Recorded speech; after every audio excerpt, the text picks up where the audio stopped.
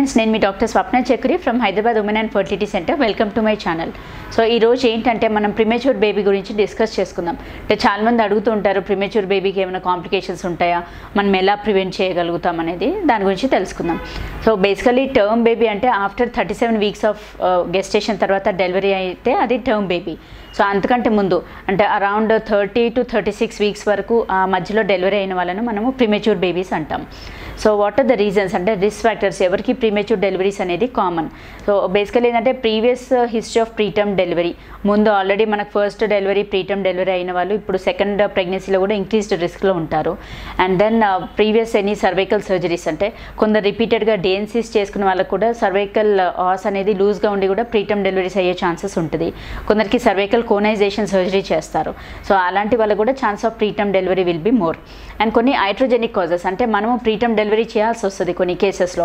ఎలాంటి కేసెస్ అంటే బీపీ కంట్రోల్లో లేనప్పుడు షుగర్ కంట్రోల్లో లేనప్పుడు అండ్ బీపీకి డాప్లర్ చేంజెస్ స్టార్ట్ అయినాయి. అంటే మనము కొంచెము హై బీపీ ఉన్న వాళ్ళకి ఏంటంటే డాప్లర్ స్కాన్ చేయిస్తాం. అందులో బేబీకి బ్లడ్ సరఫరా సరిగా లేదు లేదు బ్లడ్ రివర్సల్ ఆఫ్ ఫ్లో అలా ఉంది అన్నప్పుడు ఇమీడియట్గా ఇంకా ప్రీటర్మ్ డెలివరీ చేయాల్సిన అవసరం పడుతుంది. అండ్ కొందరికి మల్టిపుల్ ప్రెగ్నెన్సీస్ లైక్ ట్విన్స్ కానీ ట్రిప్లెట్స్ కానీ ఉన్నప్పుడు కూడా వాళ్ళు ఫుల్ అంటే లైక్ వేరే ఇండివిజువల్స్ లాగా థర్టీ ఎయిట్ ఫార్టీ వీక్స్ వరకు మోయలేరు. అలాంటి కేసెస్లో కూడా మనం ప్రీటర్మ్ డెలివరీస్ అనేది హైడ్రోజెనిక్ అంటే మనము డెలివరీ చేయాల్సిన అవసరం పడుతుంది. సో ఇవన్నీ ఏంటంటే risk factors for preterm delivery so basically premature బేబీకి అంటే వాట్ ఆర్ ద కాంప్లికేషన్స్ వాళ్ళకు ఏమేం ప్రాబ్లమ్స్ ఉంటాయి అనేది తెలుసుకుందాం. మనకు నెలలు నిండకుండా తొందరగా డెలివరీ అయిన వాళ్ళకు మెయిన్ ఏంటంటే లంగ్స్ ఎందుకంటే లాస్ట్ ఆర్గన్స్ ఏంటంటే లంగ్స్ మనకు ఊపిరితిత్తులు మెచ్యూర్ అనేది అవి last organ to get matured అన్నట్టు. ప్రీటర్మ్ బేబీస్కి ఏంటంటే లంగ్ మెచ్యూరిటీ అనేది సరిగా ఉండదు. సో అలాంటి వాళ్ళకి ఏంటంటే ఊపిరి తీసుకోవడానికి ఇబ్బంది దాని రెస్పిరేటరీ డిస్ట్రెస్ సిండ్రోమ్ అంటాము. అది ఛాన్సెస్ ఎక్కువగా ఉంటుంది. And need for ventilatory support అంటే డెలివరీ అయ్యాక కూడా కొందరికి ఆక్సిజన్తో సరిపోతుంది కొందరికి బైప్యాప్ పెడతారు కొందరికి సిప్యాప్ పెడతారు కొందరికి వెంటిలేటరీ సపోర్ట్ కూడా అవసరం పడుతుంది. కొందరికి ఏంటంటే సర్ఫాక్టెంట్ ఇంజెక్షన్ అంటే అది డైరెక్ట్ ఊపిరితిత్తుల లోపలికే పంపిస్తారు ఆ ఇంజెక్షన్ అదేంటంటే లంగ్స్ ఎక్స్పాండ్ అవ్వడానికి. సో ఇవన్నీ ఏంటంటే like complications of preterm baby అంటే తొందరగా డెలివరీ అయ్యి ఊపిరితిత్తు ఓపెన్ అప్ అవ్వలేకపోయినప్పుడు లాస్ట్ ఆప్షన్ ఏంటంటే ఆ ఇంజెక్షన్ అనేది డైరెక్ట్గా ఊపిరితిత్తు లోపలికి ఇంట్రడ్యూస్ చేస్తారు. దట్స్ వన్ థింగ్ ఇంకోటి ఏంటంటే బ్రెయిన్ సెరిబ్రల్ పాలసీ అనేది చాలా కామన్ వాళ్ళకు. అండ్ ఇంట్రాక్రేనియల్ హెమరేజ్ అంటే బ్రెయిన్ లోపల కూడా కొంచెం బ్లడ్ క్లాట్స్ ఫామ్ అయ్యే ఛాన్సెస్ ఉంటుంది.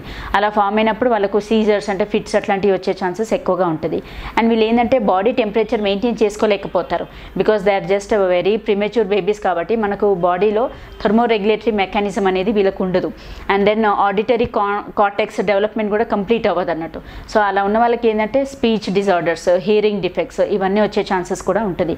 అండ్ ఛాన్సెస్ ఆఫ్ ఆటిజం కూడా చాలా మటుకు చూస్తాం అంటే ప్రిమేచ్యూర్ బేబీస్లో ఇంకోటి ఏంటంటే వీళ్ళకు బవల్స్ కూడా అంత కంప్లీట్ మెచ్యూర్ అవ్వవు కాబట్టి necrotising enterocolitis and chances of infection because immunity ఉండదు కాబట్టి అండ్ ఫ్రీక్వెంట్గా ఇన్ఫెక్షన్స్ వచ్చే ఛాన్సెస్ ఉంటుంది. సో ఇవన్నీ కూడా ఏంటంటే లైక్ ప్రీమెచ్యూర్ బేబీస్కి ఉన్న కాంప్లికేషన్స్ సో దాన్ని ఏంటంటే మనము ఎలా ప్రివెంట్ చేయొచ్చు. అంటే కొంచెం మటుకు మనం ప్రివెంట్ చేయొచ్చు. ఇప్పుడు హైడ్రోజెనిక్ ఇప్పుడు మనకు తెలుసు వీళ్ళు హై రిస్క్ పేషెంట్స్ వీళ్ళకి ఎప్పుడైనా ఎమర్జెన్సీగా డెలివరీ చేయాల్సిన అవసరం పడుతుంది అని మనం ముందే ఊహించినప్పుడు ఏంటంటే మనము స్టీరాయిడ్ కవరేజ్ ఇచ్చేస్తాం. లైక్ బెట్నజాల్ ఇంజెక్షన్స్ ఒక టూ డోసెస్ ఇస్తామండి. సపోజ్ ఇవాళ ఒక ఇంజెక్షన్ అంటే లైక్ ట్వెల్వ్ మిలిగ్రామ్ ఇవాళ ఇస్తే మళ్ళీ సేమ్ టైమింగ్కి రిపీట్ చేస్తాం. దీంతో ఏంటంటే అది it helps for the lung maturity so అలా ఇంజెక్షన్ ఇచ్చుకొని అట్లీస్ట్ ఒక forty eight to seventy two hours wait చేసి అప్పుడు మనం డెలివరీకి ప్లాన్ చేస్తాం అన్నట్టు. సో ఇదేంటంటే to for the lung maturity ప్రొఫైలాక్టిక్గా మనం ఇచ్చుకుంటాం. సెకండ్ థింగ్ ఏంటంటే మనకు ప్రీవియస్ హిస్టరీ ప్రీటర్మ్ డెలివరీ ఉన్నా లేదు ప్రీవియస్ ఏదైనా సర్వైకల్ సర్జరీస్ అయినాయి లేదు ఇట్లా హైడ్రోజెనిక్ రీజన్స్ ఉన్న వాళ్ళకి ఏంటంటే మనము సేఫర్ సైడ్గా ప్రొఫైలాక్టిక్ సర్వైకల్ స్టిచ్ కూడా వేసుకుంటాం. దట్టు అరౌండ్ థర్టీన్ వీక్స్ అప్పుడు అంటే మేము ఎన్టీ స్కాన్ అంత నార్మల్గా ఉంది డబుల్ మార్కర్స్ అంత నార్మల్గా ఉంది అని కన్ఫర్మేషన్ అయ్యాక అప్పుడు సర్వైకల్ స్టిచ్ చేస్తాం. So that is important preventive measure అన్నట్టు. అండ్ ఇంకోటి ఏంటంటే ఫస్ట్ ఆఫ్ ఆల్ ఏదైనా వైచనల్ ఇన్ఫెక్షన్స్ అంటే అండర్లయింగ్ కాజెస్ ఏమైనా ఉన్నాయా రూల్ అవుట్ చేసుకోవాలి. రికరెంట్ రిపీటెడ్ వైచనల్ ఇన్ఫెక్షన్స్ అవుతున్న వాళ్ళకి ఏంటంటే ఆ ఇన్ఫెక్షన్స్ క్లియర్ ఆఫ్ చేసుకుంటే కూడా మనం ప్రీటమ్ డెలివరీ అనేది కొంచెం మటుకు అవాయిడ్ చేయొచ్చు. అండ్ అడిక్వేట్ హైడ్రేషన్ మ్యాండేటరీ ఎక్కువ స్ట్రెస్డ్ అవుట్ అవుద్ది అంటే lifting heavy weights and uh, మరీ ఎక్కువ స్క్వాటింగ్ పొజిషన్స్లో అలా కూర్చున్నా కానీ కొందరికి ప్రీటమ్ డెలివరీస్ అయ్యే ఛాన్సెస్ ఉంటుంది. అండ్ మోస్ట్ ఇంపార్టెంట్ ఏంటంటే avoid smoking alcohol intake tobacco intake ఇవన్నీ ఏంటంటే మనకు అది బేసికలీ ఆక్సిజన్ సప్లై అవన్నీ కూడా తగ్గుతాయి. సో దానివల్ల కూడా ప్రీటమ్ డెలివరీస్ అయ్యే ఛాన్సెస్ ఉంటాయి. సో ఇలాంటి హ్యాబిట్స్ ఏమైనా ఉంటే మాత్రం ప్రెగ్నెన్సీలో better to avoid all those things so friends ఈ వీడియోలో మనం అసలు ప్రీటమ్ బేబీ అంటే ఏంటి? వాళ్ళకున్న అంటే కాంప్లికేషన్స్ ఏమవుతాయి?